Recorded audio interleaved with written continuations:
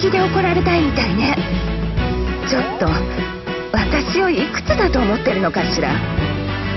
あなたが伝説の大英雄。でも随分若いのね。あら力比べ？まだまだあなたには負けないわよ。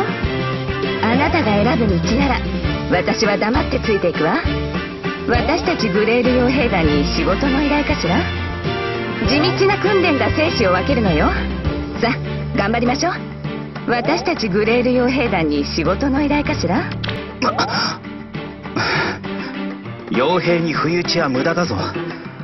奇襲の備えはできてる。愛想がなくてすまんがよろしく頼む。